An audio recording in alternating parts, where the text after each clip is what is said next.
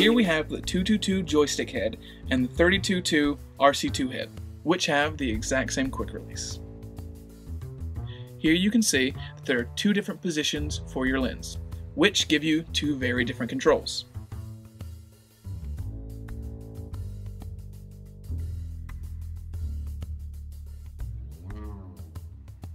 As you can see, we're using the same quick release for the 222 joystick head. These two very different lens options give you two very different lens controls.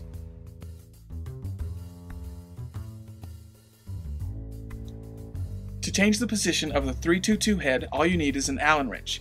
Begin by unscrewing the Allen screws, and then move it into your desired position.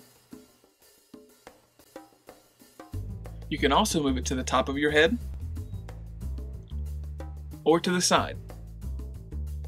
If you have any questions, you can stop by our store or visit us at SpartanPhotoCenter.com.